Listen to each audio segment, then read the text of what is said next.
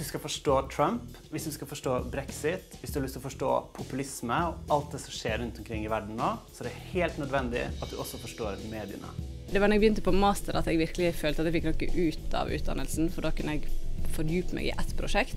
Master i medie og kommunikasjon er, eh, er veldig spennende, i og med at fagene er veldig aktuelle. På masternivå så er det veldig lite og sosial gruppe. Det er veldig hyggelig. Jeg tror at det at vi får være i praksis i medie og kommunikasjon, gjør at vi stiller sterkere når vi skal faktisk ut i arbeidslivet. Hvis jeg skulle beskrive masterstudiet i medier og kommunikasjon med ett ord, så tror jeg det ordet ville være Viktig. Fritt. Bredde. Spennende. godt, Aktuelt. Allsidig. Muligheter.